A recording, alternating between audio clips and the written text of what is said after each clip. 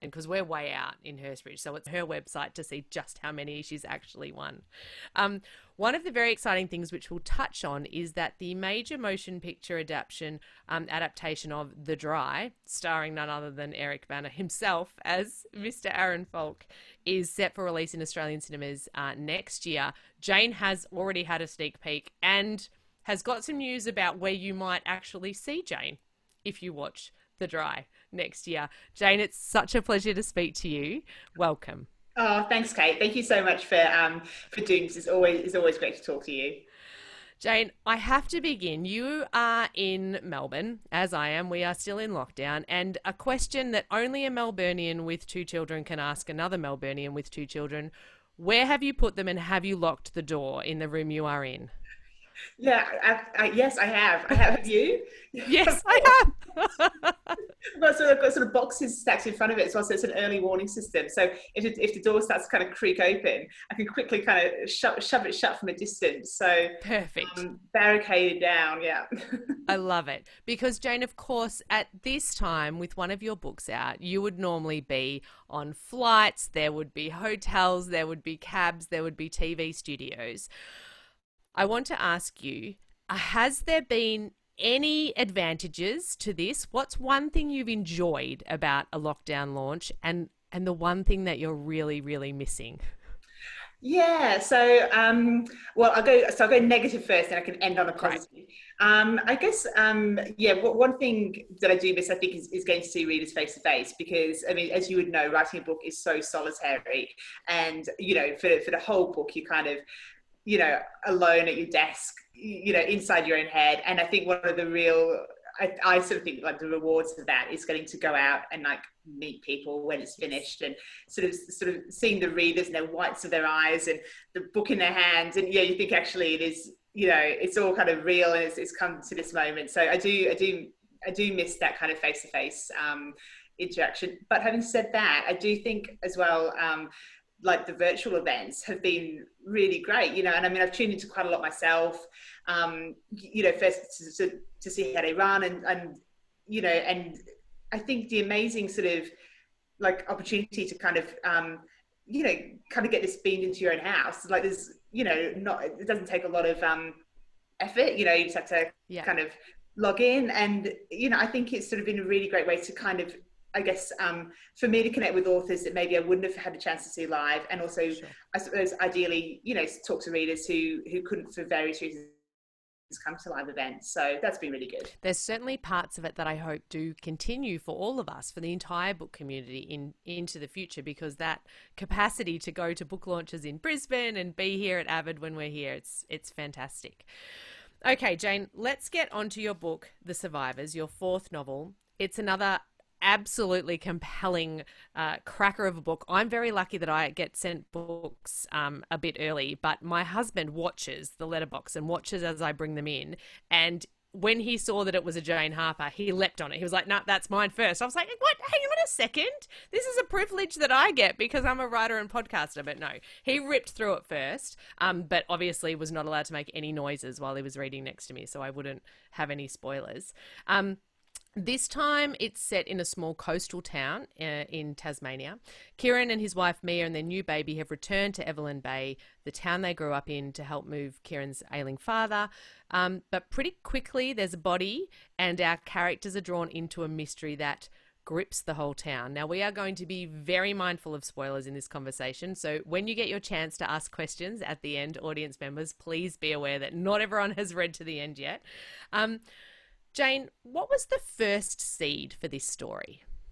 Yeah, you know, that's such an interesting question because um, I, I find like so often, you know, when I think back to, you know, people say, where did you get the idea from? Or, or, or what, you know, what kind of um, drew you to it? And, and I think like writing is such a kind of layered process that often like almost the, the, the initial idea gets superseded so many mm. times that it, it, almost it almost doesn't connect in a way um, i mean so if i had to kind of um, pinpoint it i guess you know it would be that i had this idea for um, this this you know, this young guy returning to his his home community um, you know, having kind of um, had sort of a, a, traumatic event in his past and and in, in some ways sort of overcome that and what the, the lingering effects of that would be. Um, and, you know, and wrapped around that was, you know, it, it's sort of a mystery that kind of draws him in and, and um, yeah, invites him, I guess, to, to reflect on things he, he you know, his past, I guess, and things that you know he, he thought to be true with you know the benefit of some maturity and a bit of hindsight. So um, I suppose, um, which I guess is the plot. So I suppose it does actually still relate to what happened in the end. But it, you know, I think you know that's one thing that I've really discovered. You know, writers, I'm sure you have as well. That it, it just it's so um, you know it, it's it's such a kind of um, process where you just build on things and you're constantly like refining and shaping it. And um often like the end product is not necessarily you know quite what yeah that initial idea was really. Um you know and you, and you do sort of i think ideally give yourself space for those you know the good ideas to rise to the surface. At what point does place come into it for you. Because sometimes in in my mind I've got this vision of Jane Harper in her writer's studio with like a map of Australia and all the different landscapes you know um rainforest you know outback and rural. And then I'm like maybe she'll go to the mountains next or like deep tropical Cape York. Do you when does place come into it for you? Because it's so visceral in each of your books. Yeah like, you know, it, it actually it, it comes really early. And um and I do think I do actually think go through a little bit of a, a, kind of yeah geographical mental yes. Australia.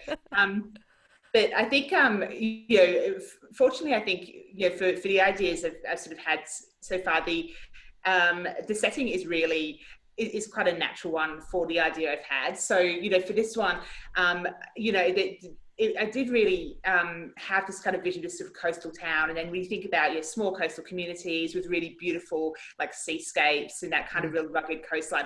Um, Tasmania was a really obvious choice. You know, it was it felt like a really really natural place to set it. So um, that was that was you know almost right right from the start. I kind of knew that would be where I wanted to set this book.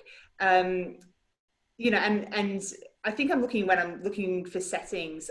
I'm, I'm looking for something really that is um, is going to support the action. So, mm. you know, I, I I wouldn't just pick a setting just because it was kind of interesting to itself. I think it has to really feel like it's it's um it, it kind of fits in with the, the plot idea and it's going to shape the characters in a way that's going to support that you know who they are like people who grow up in small coastal towns are different from people who you know have maybe have grown up in say outback Queensland. You know, there's a, there's a difference in who they are as adults because of their surroundings.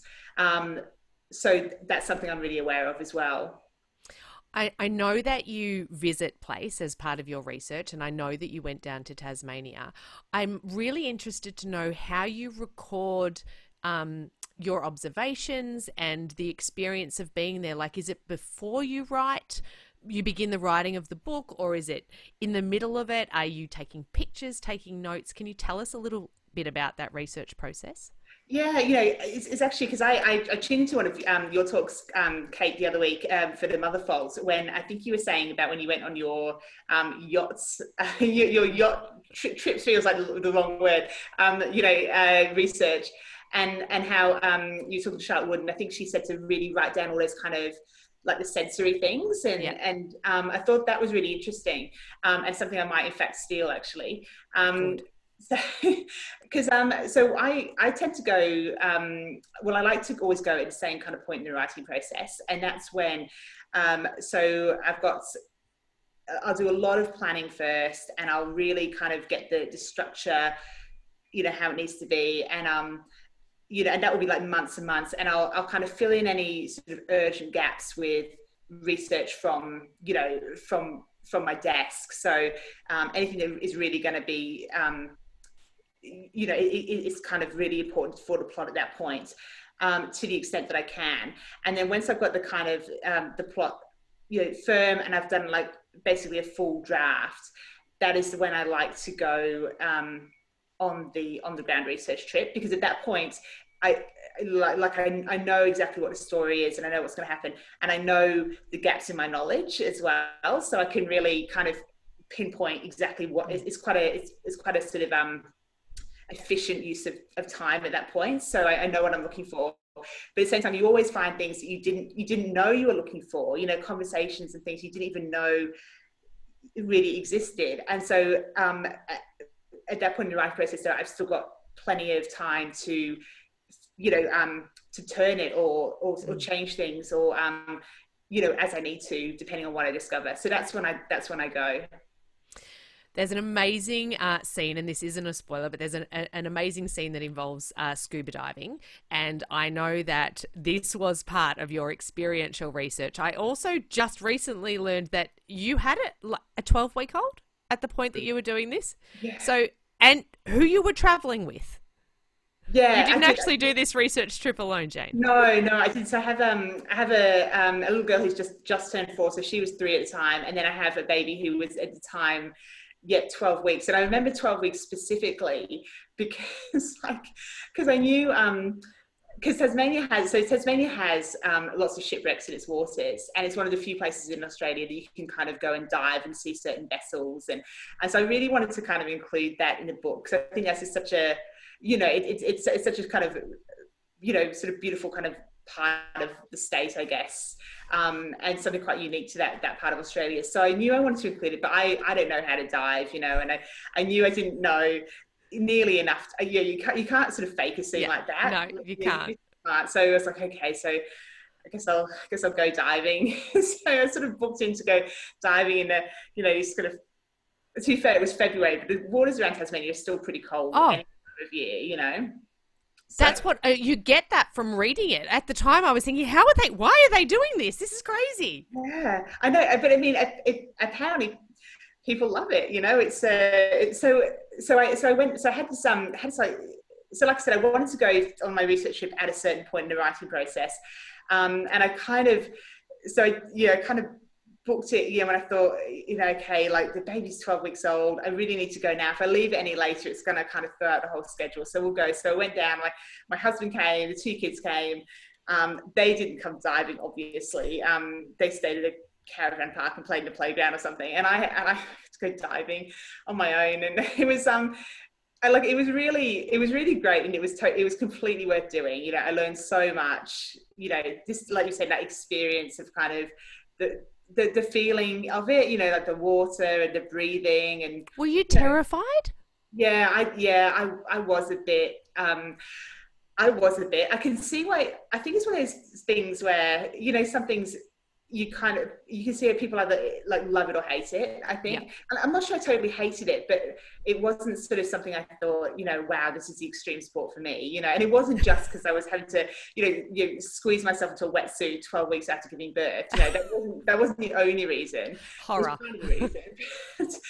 um but it, i think it was just um that feeling of um you know like i was having to concentrate really hard not to kind of resist the urge to like rip my mask off. Yes. It's so it's so unnatural.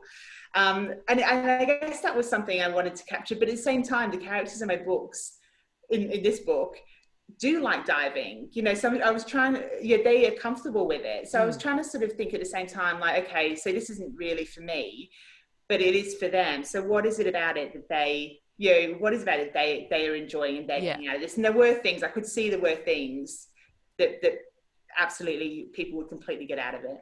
It's also one of those incredible kind of high risk it's an invitation in terms of your plot and when you were saying before that you need the place to work in with the story that you've already constructed it does that so beautifully i have to ask um, kieran and mia are, are newish parents and there's this beautiful sense um, through the book of that the you know you're being constantly aware as a reader of where the baby is. Like either kieran or mia are looking after the baby you know leaving it on the beach to, to quickly run down and put their feet in the water or um, the sleep deprivation all of that.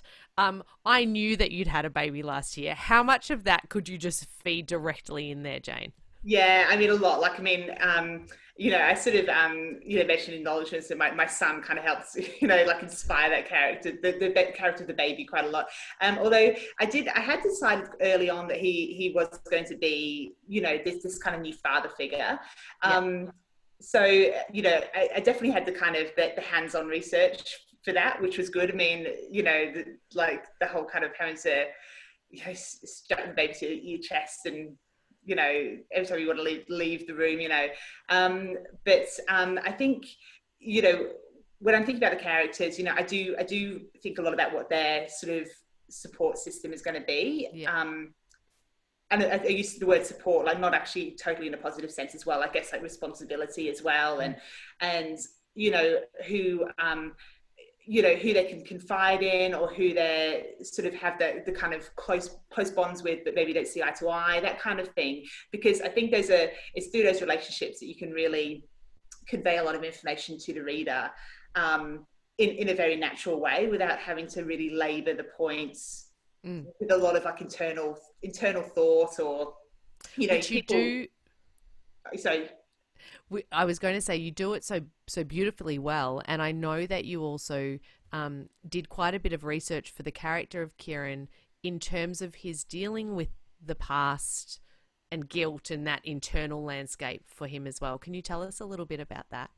Yeah, sure. So, um, you know, one of the sort of the, the sort of big themes that kind of emerged in the book was this kind of you know, sort of guilt and grief and the, the, the you know ripple effect that can have in someone's life.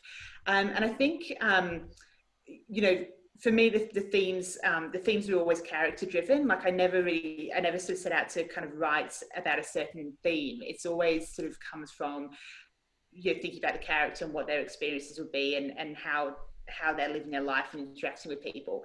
Um, and you know, I think um, when you sort of touch on themes, I think people have many people have experienced. You want to you know do it accurately and sensitively as much as possible if it's not something maybe you know you're, you're directly familiar with um, up close. So, um, so I spoke to um, yes, I spoke to um, a clinical lead advisor from Beyond Blue about specifically kind of mental health issues around um, guilt and grief and you know what kind of advice and particularly young men as well you know what kind of advice they get how successful that is what kind of things do help what kind of things do they tend to do that don't help you know that kind of stuff. So um, and that was really useful like that was that was a really really enlightening conversation. So i was lucky to have that access and be able to um, you know hopefully sort of weave that in in throughout the story. I think that uh, that any reader would say through all of your um, incredible four novels that that sense that um, you know the characters so well is partly what makes them such a rip roaring success because it translates immediately through to the reader and we feel like we are very much part of, of both their internal world and the way that they're acting with all of the other people around them. There's I, I would say in your last two books in particular, there's this kind of thread or examination of masculinity, toxic masculinity, the way in which groups of men talk, don't talk, act, don't act. Has this been something that you've kind of really consciously been exploring, or is it just the way that those characters have come up? Do You know, I think um, you know it's it's probably the way the characters develop. Um, you know, it wouldn't it wouldn't sort of um, you know, it's not to say that I'm not sort of aware that that, that kind of, I guess, might come up because, you know, you, you sort of, when, you, even at the early stage, when you think about characters and, mm. You know, people of certain ages and, and, you know, this, um, I think there's themes in all of our lives that, that are kind of constant and universal and recognizable. And I think it's inevitable that some of those will, will surface. Um, but I think, um, yeah, I mean, it really is like, um, like it really is character driven i think because a long for a long time you know the way i sort of structured a, the planning of the novel um, is you know I, I sort of you know i think about the kind of the plot and the setting and what's going to happen.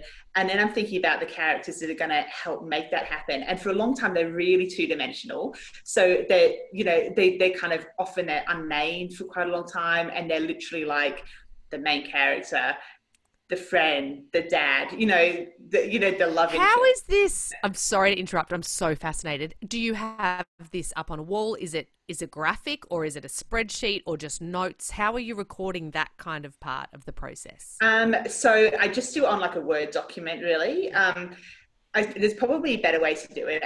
I'm sure there's probably better programs oh. to do it, but I, I, sort of never really, you know, when I'm kind of in that, I can't, I can't really be it's probably false economy, but I can't be bothered spending time learning yeah. the programs, you know, from not, to, you know, so I kind of go for the old fashioned way. So um, I do, so if I'm, if I'm making, if I've got an idea when I'm out and about, I make a note on my phone, literally on the notes app on the iPhone, and I have like a folder, you know, it'll say like book four or whatever. Um, and, and, and then every now and again, I'll sort of, um, you know, kind of put that into a, some sort of Word document so I don't lose it. And then um, yeah, when I'm sort of planning, um, I'll have kind of a probably a, just a word document with like the, the, the plan for the plot, and then I'll I will have a separate word document where I'll have the characters, and I'll I'll sort of put in ideas about them. But um, I mean, it's pretty. You know, it's it's not it's not sort of high tech at all. It's literally would have like main character, and it would kind of have you know things I'm sort of thinking about him or her, and um, yeah, and that that's that's how I do it. It's, it's just yeah, it's just just you do it, it whatever that theory is, Jane. It it works very bloody well. Um, the relationship with uh, Kieran's parents was just um, so beautiful to read. It was really hard to read at times. His his um, father is unwell, um, and the the tension in that I thought that you just did so in- incredibly well. Was there anything behind that? Uh, that you really wanted to explore in terms of the father's illness, or uh, did the plot kind of drive that combination? Yeah, I mean, it was probably a bit of both. Like in in terms of, um, so I'd say things are always kind of plot driven, but then you can have things that are plot driven and there could be a number of different ways you can execute them. So that's when you start to think, so how, you know, so I, I, I want my main character to come back to this small town. Um, what what what could draw him back? You know at the age he is and you know what would sort of draw him back for you know a, a reasonably sort of you know mediumly extended period i guess um, and have him um, you know really sort of i think reflect on things as well. So you, you you know you're looking for something that is going to you know kind of create that opportunity i guess for the character to have that connection and reflection. Um, and i thought um, you know so think about a few different things but i think that that one that relationship with you know his parents and his father who has sort of early onset dementia and um, is is really not um, the man that he was and the the father mm. that Kieran remembers you know it, it, it sort of it it really I think forces Kieran to kind of um, you know look at his, his father really only exists in his mind in a lot of ways mm. because the man who's there is not there anymore um, you know, so that that sort of um, in, you know in, invites a lot of introspection, I guess, around his relationship with his with his parents, and you know, and I think that you know a lot of people who you know have had ever had sort of someone with that kind of illness, you know, who's close to them. I mean, you know, you're sort of be familiar with that that sense of someone being gone well before they're gone, they're really gone, you know. Mm. So that was something I, you know, I wanted to kind of bring out as well. It was it was really really beautifully done. Um, I want to ask about now, flip to a delicious kind of a character who I just enjoyed reading on the line so much. The the uh, writer, the famous writer who is in town, George Barlin, who writes at the Surf and Turf and has has bought property there, and he was just uh, glorious. And and I must admit to reading it, going, is Jane is Jane having an in joke with all of us with this with this character here? I have to quote um, at one stage, he says, Writer's block is for amateurs, mate. I do this for a living. And I was like, oh, is this Jane just putting a comment into the book? Tell me, where did he come from? Because he's the first author that you've written in, I believe, to your books. Yeah. Tell me yeah. about him. Yeah, so George, so George Barlin, so um, he was a really interesting character to write, and um, as I said, he so he's a he's a very successful author who's come to the town for um, you know really sort of a sea change you know inspiration um, and you know but i think i think like i, I hope like all the characters is it has a bit more to him than just his you know his sort of his profession really um, but I do really enjoy, you know, his, his profession and the opportunity oh. that kind of gives, you know, um, you to sort of, I suppose, um, I suppose like you know include a little bit of you know your own kind of experiences and and conversations with other authors and things. So um, so with with George, I mean he um, you know it was well actually similar actually to, to the last um you know what we were discussing with um Kieran's dad. I think with characters you're always again you're looking for realistic ways to introduce people. So, you know, you need um, people in a small town, you want people who are insiders and outsiders, and he's very much an outsider.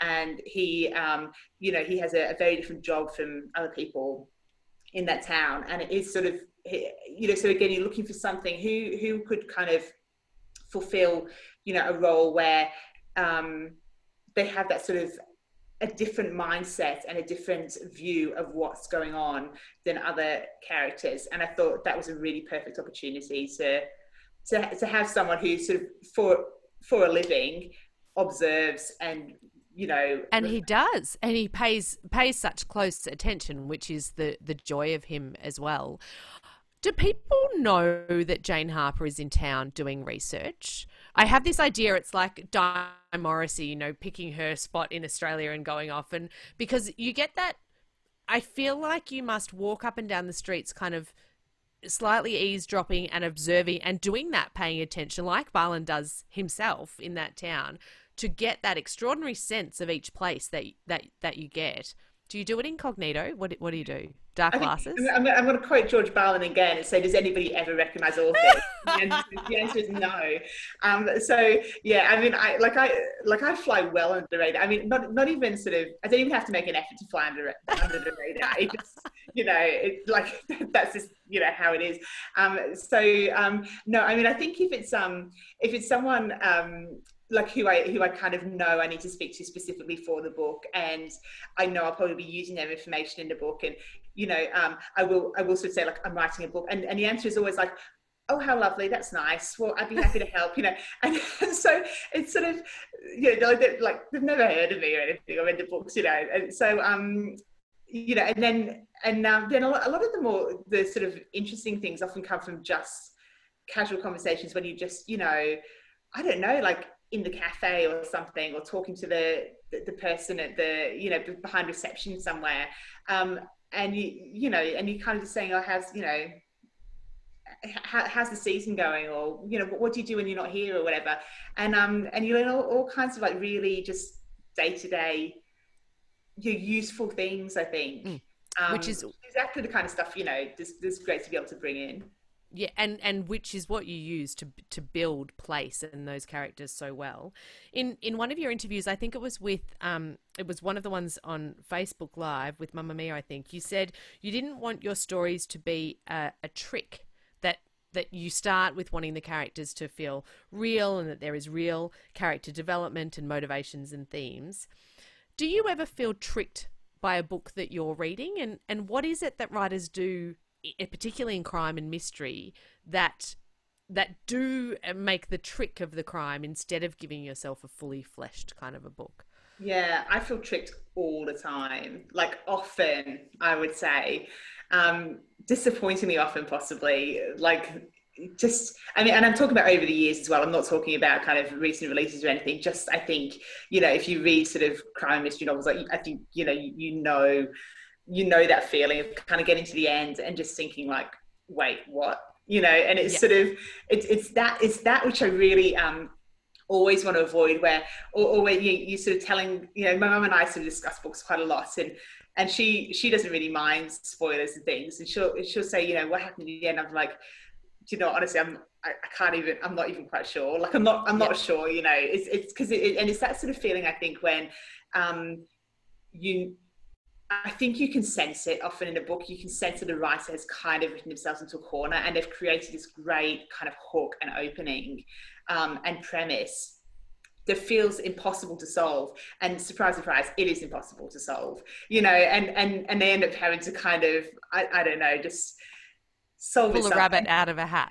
Yeah. So um so that's always what I'm trying to avoid. And I think you know I, I sort of talk about this um quite a bit when yeah people ask about how I structure the books, but when I'm thinking about ideas, um, it's taken me a while to realize this is what I do, but this is what I do, and that is I sort of I start from the end. So when I'm mm. thinking about the what yeah when you ask me like what, what am I what am I going to do for next book, what I'm thinking about is like what is going to be essentially I guess the who done it or the mystery or the reveal, and and then what is it um what has happened to these characters to put them in a position where this extreme event has happened and what's their what have their lives been like up to that point is it something recent is it something that's been long building is it a moment of madness? Is it something that's been planned? You know, it's all those kind of things. Like what would like what would drive you, Kate, to actually commit violence against someone else? Say, mm. really in your life? And I bet there's not I mean, I know oh. it, might, it might feel during like lockdown. Woo! That's what I know. There's a, there's a laundry list right now, but in normal times, um, yeah. um, there's probably only you know like few, fewer things. So yeah, that, that's sort we'll of. We'll talk about this later, Jane. exactly. Um, so that's kind of what I'm. Yeah, you know, and I think yeah, by by kind of starting with the endpoint, it by building the book around that at least i know i know where i'm going and i and, and i and i know that the resolution will make sense because everything else has been built on that. How many times, and I, I know I wanted to ask you about that writing from the end because you and um, the amazing Karina Kilmore featured on uh, one our series for the podcast this year, and that the feedback that we get is what I loved most was Jane Harper talking about writing from the end first. So it it fascinates writers in in the terms of how you do that do you do you get to points i know that i think anne lamott talks about a, a, crack you know a hairline fracture in her manuscript where you think oh, i've broken it. Like how often do you come up against um, blocks hurdles parts where you have to work back again and, and go in a different direction? Or have you really got the process down now? Yeah, so I um with each book I've I, I reckon it's the process has got a lot more streamlined because you do yeah. sort of learn from you know from your past efforts really and what works. So so um so for me and this isn't true for everybody i, I would hesitate i would sort of um you know say you know if if you know not every writer's process is the same so don't try and shoehorn yourself into someone else's process if that's not working for you. But for me planning is the way is the best way for me to do it. Um, and so so what normally happens is um so i will i will plan like for months and months i will i will probably yeah, spend like more time planning than i do actually writing you know the book so um and i'll um and I think sometimes as well people feel like planning kind of strips the creativity out of it. But I, I honestly find completely the opposite because I think if you by planning, you're um, it allows me to um, try things out without having to commit to them. So I mm. can I can try ten different ten different you know ways to do something um, and do you know a few hundred words rather than pick one way and do several thousand words and then have to delete it and you know you mm. lose the energy and you only have so much time and mental capacity and things so um so for me um you know i will i will like i will plan all the way down to things like the start and end of chapters like the cliffhanger moments what the next chapter is going to you know, be that that sort of transition. Um, I will know every I will know every single chapter in order before I start to write it, and I, and some of those chapter notes will be a thousand words long. So I'm almost just kind of filling in the gaps by that point. Mm. You know, I'm just kind of fleshing it out really. Um, the thing is that then often what happens is I'll, I'll do a full draft, you know, and and I'll kind of hand it in for a structural edit, and then with the you know once it's, it's weird like once that's done it's amazing then how your mind suddenly like clears up and you you find it happened with the lost man it happened with this one i just find like another thread and you're like you know geez how did i not see that? How did i not see that that will will literally lift this another you know i don't know 50% again you know? So and then you sort of think oh, great. Well, now I've thought of it, I can't unthink it. So I'm gonna, so I'm going to have to do it. So then it comes, so it comes back to you, and then I often will actually kind of almost rewrite the whole book. I'll plan again though.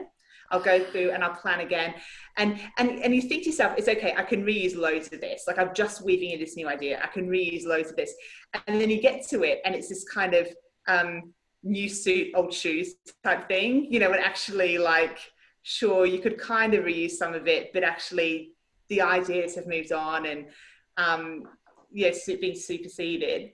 And I'm sorry, I think one of my children is. it's the system. the The box system is going to fall down. It's good. I think she's. I think she's gone. Um, and um, where was I with this? Uh, yes. Yeah, so it, it. Um, what was I talking about? The way that the you keep on putting new words in so that when you're doing this new draft and weaving it in. Yeah. So i will rewrite i will rewrite almost you know often i'll end up rewriting the whole the whole thing but it's it's easier second time and you and you mm. feel like the ideas are there to be exploited um, and it's worth doing and things. But i think the thing is that the thing i would say about why again why planning helps me is that i feel like um, it, it gets me to that i haven't I haven't used up all my energy on on draft just trying out ideas.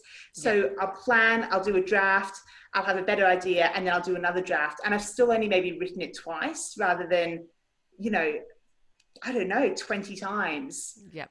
Um, so you save your energy you know? I loved you've got a very popular um, TEDx talk um, on creativity and on your process. Um, part of it is you talking about the kind of disciplined approach, and part of what you got from journalism in being able to sit down and do that that kind of work. What does your day look like on a writing day, not a lockdown day when you're looking after children? what on does your writing day, day look like? Yeah, so um, so I would um, so what I do is I, I, I, do I sort of treat it like a full time job to the extent you know when I can. So um, I'll either have so I have kind of either paid for childcare, um, or my husband will you know take them those days. Um, we'll have them those days. Like he he he sort of is, is essentially a full time um, childcare you know person. You know when, when I'm sort of in the writing process, and um and so I would like leave the house. I go to I have an office space about 10 minutes walk so it's completely separate. I go in there um, and i find that really useful because i do find as soon as i go in there i don't use that space for anything else really. And so in that that's actually really good. I think that's a really good advice. If, if you have the ability and capacity to have somewhere like that to just use that for writing because it means as soon as i'm in there my brain kind of knows this is what we're here for you know. So um so I'll, I'll, go in there and I'll, you know, I'll try and be there sort of, you know, for, for nine-ish or something, close to kind of normal work start time. And then I'll just, yeah, and I'll kind of just work right through till, you know, I don't know, four or five or something, whenever, you know, it's kind of, I need to um, come home and, you know, um, be with the family really.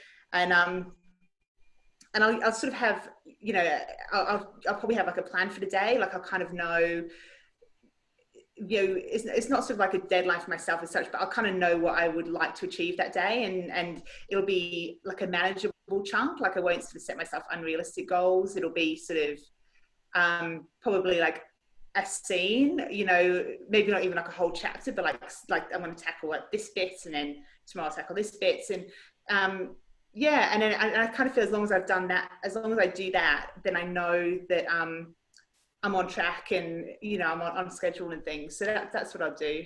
It seems like such a very smart way to do it. Jane, I want to ask you, I, I will go to questions and we are getting to that time very soon. Um, but the dry, the the movie of the dry is out next year. Can you please share with our audience about who they might see in the funeral scene, please? Well, if you look closely, if you keep your eyes wide open um, and don't blink at all, you might see myself playing. How did this happen? Well, it, it basically. Um, so they were filming it last year, 2019, in Northwest Victoria, and um, they and when I tell you they were filming it in the middle of nowhere, like I really mean it. Like the when, when they actually sort of um, in, invited me to go up and like and see what was going on, the the it was one of those things where the, the directions were essentially like a GPS coordinates. You know, like you, you, it like you drive drive along this road for forty minutes, and then you know at the at, at, the broken fence turn left, and you know if you if you if you hit the sort of the dead cow, you've gone too far, that kind of thing. So um so anyway, so they were they were filming this funeral and wake scenes in this church, which was this like a church surrounded by fields, and um, and I think actually we're, sort of they wanted they were they really you know really kind of sort of wanted to invite me up anyway to see, and I think also it was a good opportunity to get a few more. Um, bums on seats in the church because they, love this. people in really to to fill this fill this you know, tiny church. So um, so yes, I got to go up with like um, at first it was just going to be like me and my husband, I think, and then when I sort of realized they needed a few more people, end up completely sort of abusing the invitation about, you know, I don't know, a dozen sort of, yeah, assorted family and friends ended up um, going up there. But so, yeah, so we sort of sat there, funeral and wake, you know, sort of looked at the, the, the photo montage, you know, had the order of service, held a plate of lamingtons for eight hours in the, in the wake in the village hall and, um, it just seems yeah. the most surreal experience. You literally stepped into your to your yeah. own novel. Do you think they've done it justice, Jane. Yeah, do you know, I honestly, I do. And I'm so relieved to say that because, I mean, what are the odds, quite frankly? Like, we've all seen adaptations, you know, of books, of book, I mean, not even books you've written, like, I mean, God, like, yeah, I mean, books you love. Books you just loved, you know, and seeing the adaptation, it's like, oh, you know, I mean, you know, it, it's it's never like you know, it, it's so it was actually not never. It's so rarely, I think, lives up to you know what you want. And so then, if it's actually like an adaptation of your own book, like the that that feeling's like heightened, you know, a thousand times. Um, but honestly, they absolutely nailed it. I'm like, I'm so thrilled. I, I was sitting in the cinema thinking like, you know, this is a this is a separate creative project. You know, you've got to allow people to to do what they want to do to give the best possible. And honestly, by the end, I was like, you know, popcorn in mouth. Like, that's great. It was it was so good. I think they really um look they did all the things everything i could have asked for so it's really it's a really sort of faithful thoughtful you know adaptation of the book the characters i think really really recognizable as the characters in the um you know in the story um eric bana does as an amazing a job as you would expect scenery is beautiful and it and it's also just a really good watch you know it's not um it's not kind of too slavish it's not just kind of a, a sort of a, a, a, plodding kind of slavish scene by scene retelling. It's really got that kind of pace and kind of gripping thrillerness. So, like, definitely when it, you know, we're all free again, get your friends together. Oh, very excited. Yeah, so. And it's thrilling. You can't help but read The Survivors and just be thinking, like, this is begging to be on the big screen. The, the ocean, the storminess, that small town kind of tension that you can just feel. I can feel it now going up my back. Is there news about the survivors for us? Yeah, so so it's actually um, been option for a TV series. Amazing. Um, yeah, which is really good. So there's some more details to come for that in due course, um, but that's is still it's just really sort of happened. So um, so it's, I'm supposed a little bit light on detail, but it's really I'm really excited that it's a really really great opportunity. I think for the book, um, I think it's in really, really good hands. And, um, you know, and I think, um, you know, like I never sort of, um, I never sort of feel like I'm going to have the luxury to kind of, you know, see a book adapted or have any say in, you know, what kind of form that would be particularly. But I mean, if I if I had to sort of choose, I, I really feel like when I this book would really lend itself to a TV series. It's, it's sort of the episodic kind of yeah. nature of it, and um, I think the um, the kind of twists and turns. You know, it would be great to have that kind of space for oh, that to play out. Very bingeable. I'm calling yeah. it right now. Completely bingeable. Um, I know that I have to leave time for other people to ask questions. Chrissy, you know I've got a thousand more, but I'm going to hand over to Chrissy so that our wonderful audience can ask you some questions too, Jane. And they seem to have a thousand more as well. So thanks, Kate. That's been really great listening to you, and it sparked a lot of questions here. So here goes. Um, Elizabeth has asked When you start writing, do you focus or start with the plot, storyline, or characters? So always the plots. Um, and then, um, yeah, always the plots and the setting. Then the um, then the characters and you know as i mentioned i think for a long time they're very two-dimensional like they really are just sort of fulfilling a role and i'm kind of thinking who and i want them all to pull their weight as well i think it's really important that they all serve a purpose so i don't um I don't. I think you know it's fair to say I, I, I don't sort of have super, superfluous characters who are just kind of there to make up the numbers. They all ideally helping drive the story forward and then over time i'll kind of flesh them out. And it's really then in that sort of fleshing out and thinking about their their backstories and who really they are that's when i think the themes start to emerge. So that's kind of the order it comes in. Great and danny has asked um, what types of books do you read? And do you have some favorite authors? You know, I'm so thank you, Danny, for asking this question because I was saying earlier, and, and Kate being as modest as she is, saying, no, no, don't say. But I have to say, I've just finished reading Kate's amazing book, The Mother Fault, which if you haven't read it, um, you, you have to read this book. I was honestly blown away by this. And, and, you know, it is such an incredible achievement. I absolutely loved it, Kate. Congratulations. And, I, and I'm, I'm honestly not just saying this. Making me blush. that would be the polite. I, I realize it seems like this, this might just be me being polite because you're here. Um, but my God, like what an incredible book. I was on the edge of my seat and the, the talk about like the way you've kind of captured the relationships between characters. It was like so crystal clear. It's like I know I've seen this. I've seen this play out. You know, in real life. Um, beautiful job. So so yes. So the Mother Fault by Kate Livermore, I can 100% recommend. Um, I, you know, honestly, I think that's my. You know, well, I think I might leave it there. I think just, just that book it's excellent. um, and I agree, it is an excellent book. So, um, well, you. well done to recommend. And avid reader have a bunch of them as well. Um, so, we've also got a question from Catherine who said, "Did you do a lot of research about Alzheimer's?" Oh yes, I did. I did do. Yeah, I did do a fair bit about that. Um, although actually, my grandmother had um, had dementia in her later years, so a lot of the, um, you know, a lot of the a lot of the sort of i guess the, the way it manifests in the book is more is a lot of that kind of personal stuff that i think you notice when you have someone who has um, deteriorated and um, and so a lot of that was i guess sort of drawn on my own kind of personal experiences of, of sadly watching her um, you know stop being the woman she once was mm. Now, um, Jill has asked um, about character development. Do you use a combination of attributes from people you know to develop these characters? Is that something that you do?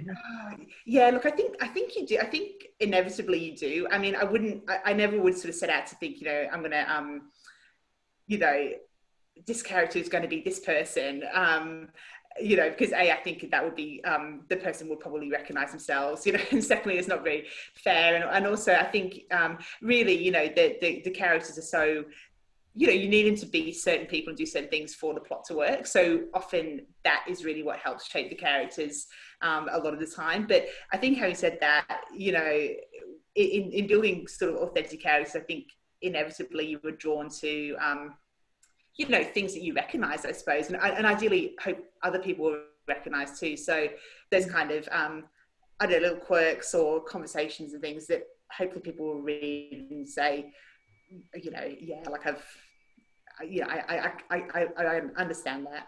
Great so, look, um, Heather has asked over the last few years, there have been so many female Australian writers doing really well here and overseas Hannah Kent, Candice Fox, Toni Jordan, Liane Moriarty. And why do you think this is happening now as one of these writers? Oh, look, I mean, I guess, you know, my you know i suppose my question would be why why hasn't it happened before i suppose really or um, and also when you say those names as well i mean i think you know it's um I mean, some of those authors have been working for quite a quite a you know enjoy, enjoy success for quite a few years now, and maybe maybe it feels like there's a sort of enough of a critical mass now that you know it feels like there's a lot of us doing it. But I think a lot of those people have been having enjoying you know you know, yeah, great success for um, some time. I mean, I think, um, look, I think good stories will always be in demand. Well written books will always find a home. Um, and I, you know, long may it continue, I think. Mm-hmm. Great. Um, so Elizabeth has asked, um, you did the Curtis Brown creative writing course and how influential was that on learning about learning your craft and any advice for aspiring writers? Yeah, I mean, so I think, you know, my, um, you know, one of my biggest sort of, um, I, I guess, points of advice would be to make things as easy as you can for yourself if you're trying to write a book.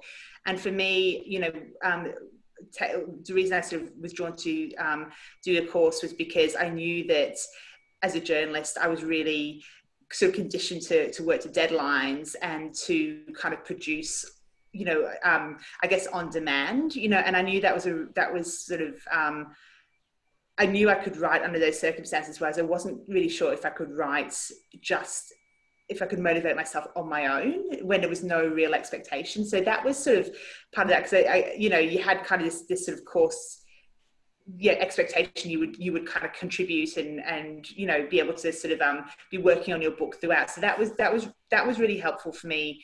Um, in that, and I did pick up a lot of like really great writing tips along the way. But I think you know, um, you know, a lot of there's a lot of great writing advice out there. Um, if you know, if you're looking for it.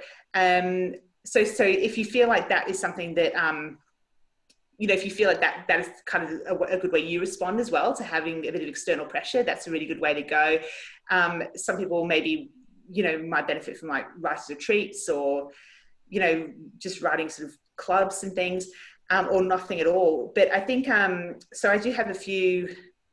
I mean, like my real kind of a lot of my my best advice is probably in that TEDx talk I did, which is available online, and, and so I guess good. I think sort of sums up a lot of my um, Right. you know my, my thoughts around it. But i think i think just try and make things easier on yourself. So try and you know if you can like find a bit of consistent time to write um, you know write down your ideas. Don't don't try and remember them all. You know i mean you know we can't keep that many things in our head. Um, try and if you can sort of um, you know make um, give yourself i guess the space and the the mental headspace you need to think about your book like it's, it's okay to kind of have to work on it you don't have to pretend that it's going to come easily. It's it's all right to sort of, you know, feel like it's a bit of a struggle and it is something that you're having to work at. Um, if it's not like a big bolt of lightning, that's. It's not going to be a big bolt of lightning. It's going to have to be something you work on, and it's absolutely fine to need to work on it. So I guess, so, but yeah, maybe check out a TEDx talk. That that sort of probably sums it up a bit more succinctly. Cool. There's a lot of questions about um, the film process. I'll just sort of wrap them up in this one from Jill, which um, asks whether you were consulted at all on the script of The Dry.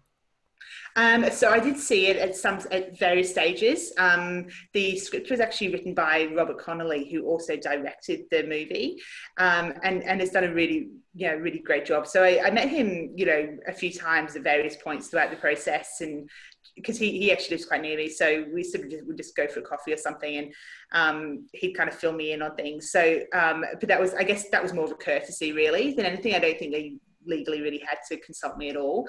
Um, but um, so, and I, I, think that's sort of a, something that you know, like I, I think you have to be happy to, to to hand things over when you when you sell your work. You know, you, you don't own it anymore and you have to make your peace with that.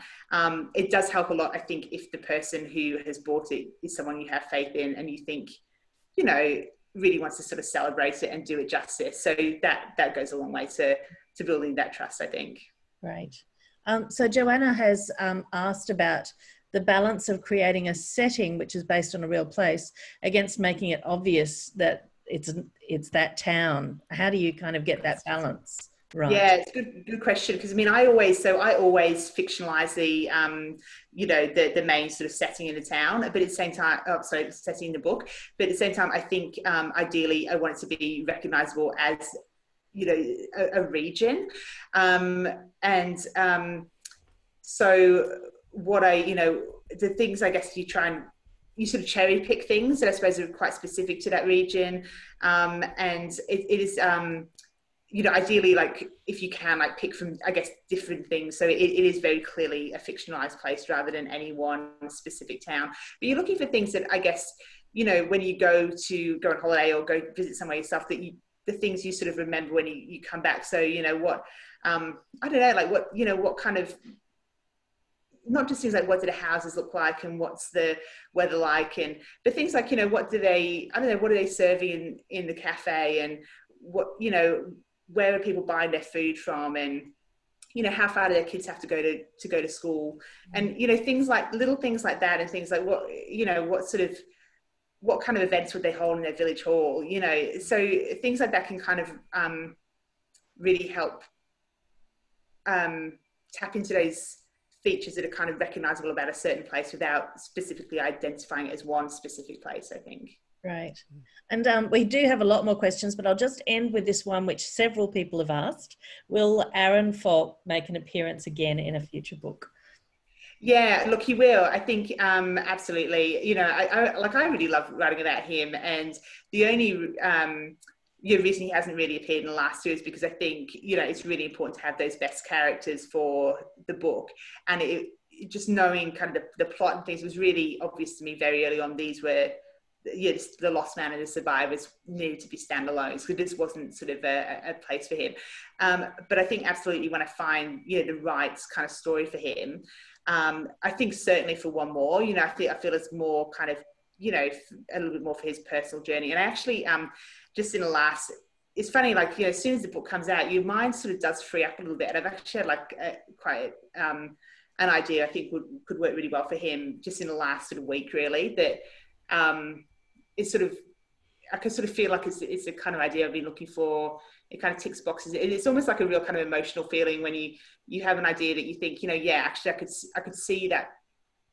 It's it's a really it's only the sort of skeleton idea, but I could see myself building that up. So, um, yeah. So watch your space people will be very happy happy to hear that. Look, it's been absolutely fascinating listening to the two of you. Um, give us a masterclass in how to um, in how to write. Um, it's Kate, you do a fantastic um, in conversation, so thank you for that. And Jane, um, thank you for this book. Um, as someone has said on the comments section, um, we do need books like this when we're um, in the middle of a pandemic, books that sweep us away and take us away from um, the, the troubles and the trials of our daily news cycle. So thank you very much for, for bringing this book to us.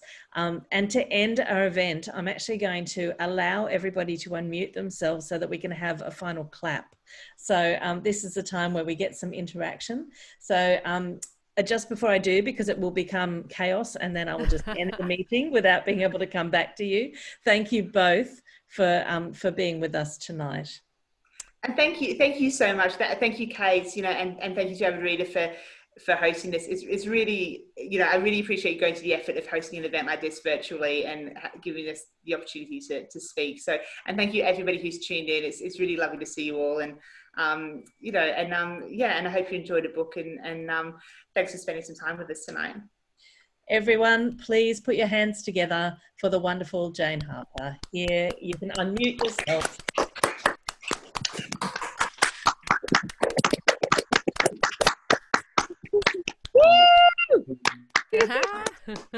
Thanks, everyone. Okay. See you later. Bye. Thank you, Jane. Thanks, Bye. Thank you. Thank you. Thank you. Bye. Thank you. Thank you.